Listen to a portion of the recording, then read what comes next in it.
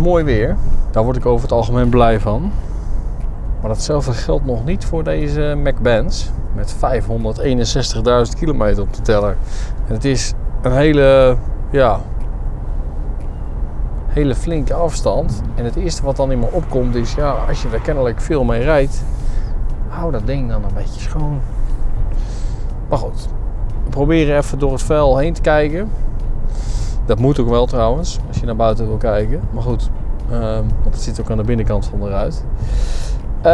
Um, een E-klasse, de, maar de Uber Station van Mercedes-Benz. Enorme auto, super handig voor uh, feestenpartijen en verhuizingen. Met een V6 dieselmotor. En het eerste wat me daarin opviel is dat hij ontzettend, ja ontzettend, nee hij geeft overmatig vibraties door aan het interieur. Voelt als versleten motorsteunen. En hij voelt traag. Ik heb helemaal niet het idee dat ik met een lijvige diesel onderweg ben. Um, en voor mijn gevoel moet ik zelfs ja, ongewoon veel gas geven om een beetje vooruit te komen. En zodra je dat doet, um, als je langzaam rijdt, je geeft gewoon normale hoeveelheid gas, dan rij je langzaam. Dan voelt het oké-ish. maar als je iets meer gas gaat geven om gewoon ja, wat snelheid te maken, dan begint de automatische transmissie echt uh, behoorlijk tegen te stribbelen. En die en heel ja, abrupt of lomp eigenlijk gewoon uh, te schakelen. Dan is het helemaal niet zo'n fijne bak. Achterin ligt van alles los of zo, of rammelt. Maar gaat heel slecht om met korte hobbels. Terwijl, ja, hoe dan? Dit is een ontzettend comfortabele auto. Die hoort helemaal niet te rammelen of te dreunen. En die hoort korte hobbels veel beter weg te filteren dan dat deze auto nu doet. Dus daar, ja, klopt iets, uh, niet, iets niet in de haak. Zo gezegd.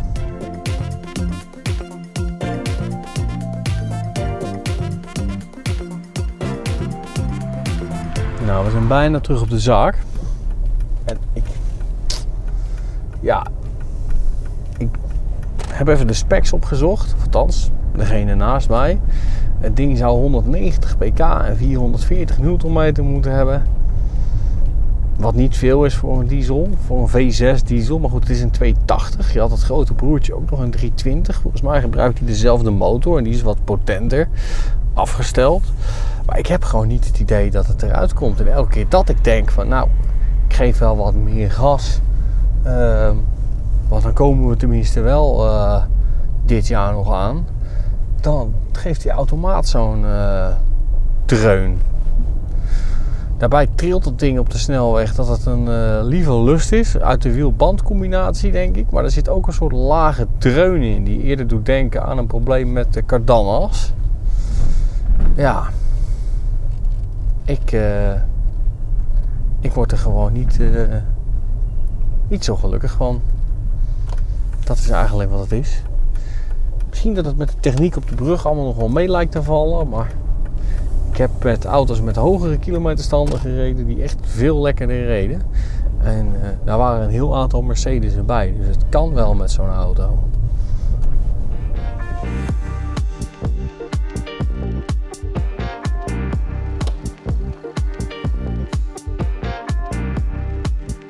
Gekocht in 2006 bij de Mercedes-Benz dealer in Deventer. En ook daar altijd in onderhoud geweest. Je knippert even met je ogen en dan is het zomaar 2024. En dan is deze directieauto de 500.000 kilometer gepasseerd. De eigenaar Job heeft inmiddels al een nieuwe E-klasse. Maar wij gaan nog even inzoomen op deze langloper.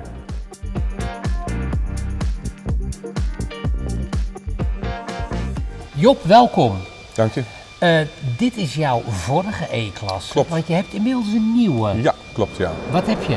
Uh, weer eenzelfde. Een uh, E-klasse, alleen een E400.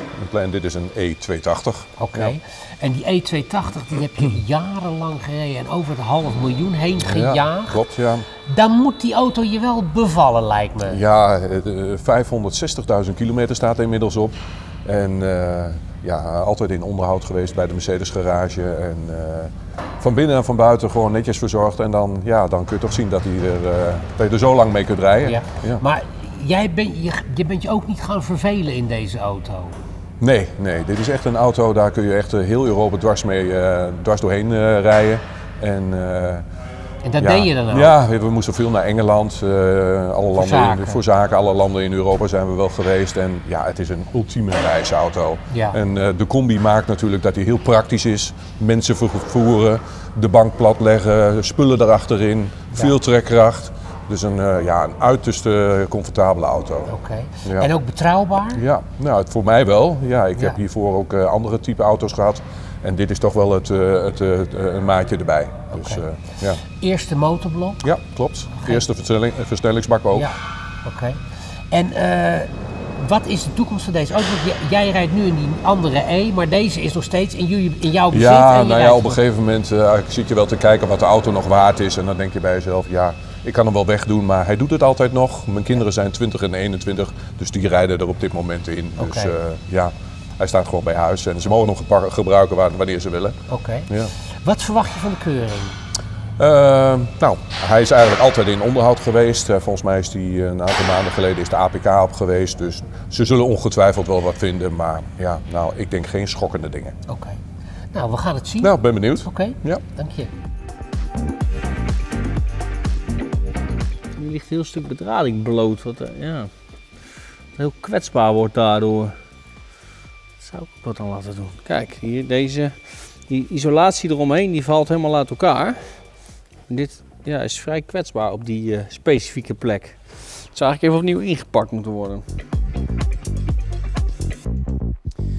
Zodra je de motorafdekkap van de Mercedes eh, V6 turbo diesel aftrekt, dan begint zo'n auto eh, ja, tegen me te praten. Ik zag net aan een afgebroken randje van een kleppendeksel dat dat vermoedelijk ooit gedemonteerd is. De aanleiding om dat te doen is om de distributieketting te vervangen. Ja, dat kan natuurlijk een keer nodig zijn bij zo'n kilometerstand. Die klapperde schijnbaar. Meestal doen ze dat dan na de start. En dat is een reden om het ding te vernieuwen. Een ander leuk detail was natuurlijk het nest van ja, een zeker dier wat we tegenkwamen. Ehm, en hier, dat is de, de tip noemen wij dit. De turbo intake pipe. De turbo aanzuigbuis. Maar als afkorting wordt door vaklui meestal de tip gebruikt. Daar zitten ehm, de luchtmassameters in. En elke keer dat je de luchtfilters van die auto moet vervangen, dan moet je dat ding demonteren. Nou, dat is al heel vaak gedaan in zijn leven. En die buizen die hebben de nare eigenschap dat ze dan op een gegeven moment scheuren. En dan moet je gewoon zo'n buis nieuw bestellen. Bij Mercedes-Benz, daar zitten dan ook die luchtmassameters in. En dat is een kostbaar onderdeel. Zo'n ding kost honderden euro's. Misschien wel richting de 500. Maar ja, beter duur dan niet te koop, zeggen wij dan. Ehm, valt er hier nog meer op? Nou, het valt me eigenlijk iets mee. Op basis van hoe die rijdt heb ik wel het idee dat er iets aan die aandrijflijn niet in de haak is. Maar wat ik hierboven zie, ja, kan veel slechter. Aan de voorzijde daarentegen van de motor, daar zit de multiriem en die is hartstikke nieuw, lijkt het. Een aantal van de pulleys en de spanner ook. Maar toch vind ik daar al allemaal klonten gesmolten rubber op pulleys en op de rug van die riem. Dus hij is al twee keer vervangen. En zoals het er nu uitziet, lijkt het alsof daar nog steeds iets niet goed gaat.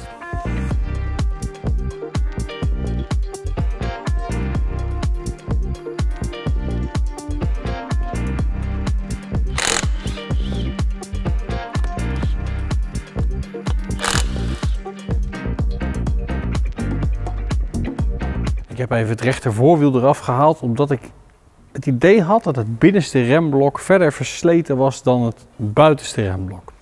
Deze auto heeft remklauwen met zuigers aan twee kanten. Dus de remblokken worden door in totaal vier remzuigers tegen de remschijven aangedrukt als je wilt remmen. En zo'n mechaniek, ja, dat vervuilt enorm door onder andere remstof, maar het kan ook wat verroesten.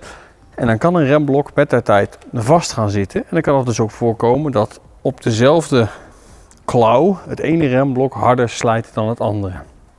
En dat leek hier ook het geval, maar dat valt in de praktijk gelukkig een beetje mee. Ehm, ik werd gefopt door een hoop vel wat er omheen zit. Nu ik het zo bekijk, denk ik wel dat het ja, op zijn laatste benen loopt. Ik zou zeggen, als hij voor een beurt in huis was, nou nog 20.000 kilometer, dat redt hij misschien. Maar daarna is het leven er wel uit. Ehm, hetzelfde geldt voor de remschijf. Dus nog één beurtje doorrijden en dan zet je nieuw erop. Hier viel overigens ook op dat er wat speling op het voorwiel zelf zat. Dat komt uit het voorwiellager. Um, die zit achter deze kap en die kun je gewoon afstellen. Dat is een onderhoudsitem. Um, die speling heeft hij zowel links als rechtsvoor. Rechtsvoor heeft hij ook nog een zijdelingse speling op het wiel die uit een onderdeel van de stuurinrichting komt. Ik ga zo even kijken of ik kan ja, uitvogelen welk deel dat is. Um, detail hier, of nou ja, noem het maar een detail, maar dat is dat er al stukken in de carrosserie gelast zijn.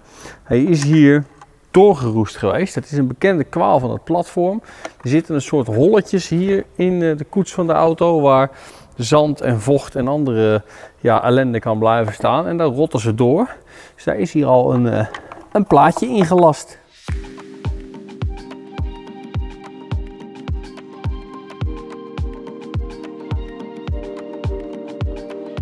Ik heb er een tijdje op moeten kouwen wat ik hier nou van vind. Maar ik kan eigenlijk niet anders dan concluderen dat het er de kilometerstand in oogschouw genomen helemaal niet verkeerd uitziet. Het is wel vet, maar niet ontzettend lek. Er zat een koelwaterbuisje niet op zijn plek.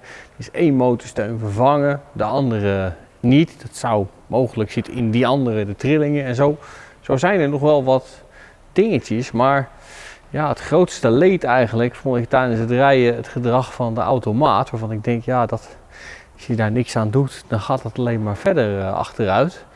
Uh, maar onder de auto komen we toch een hoop ja, sporen van uh, goed onderhoud tegen. Zo zit er hier gewoon een ja, zeer recent roetfilter, wat inclusief het montagemateriaal vervangen is.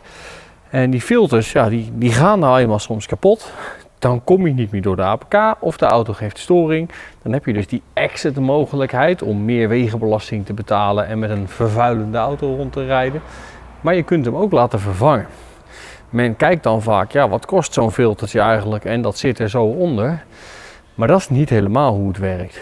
Zo'n filter, daar zitten een aantal aansluitingen op. Soms twee of drie temperatuursensoren, een aansluiting voor een druksensor, er kan nog een lambda-sensor in zitten.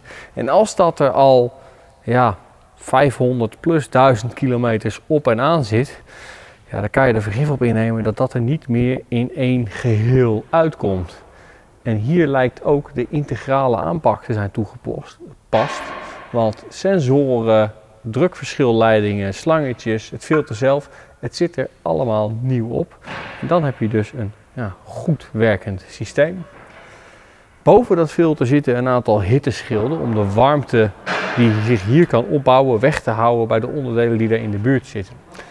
En boven dat hitteschild, daar zit dan weer de kardanas, die de aandrijfkrachten vanuit de versnellingsbak overbrengt naar de haakse overbrenging, of het differentieel ook wel genoemd, het kardan, vanuit waar ze via de aandrijfassen naar de wielen gaan. En die kardanas die bestaat uit twee delen. Die kan scharnieren en langer en korter worden. En die hangt in een steunlager. En dat steunlager, het is lastig te zien, maar dat lijkt helemaal uitgezakt te zijn. En dat is dan weer een mogelijke oorzaak van de trillingen die ik ervoer tijdens mijn proefrit. Dus ook daar is uh, ja, wat winst te behalen. Maar ook dat is voor zijn leeftijd en zijn kilometerstand niet gek.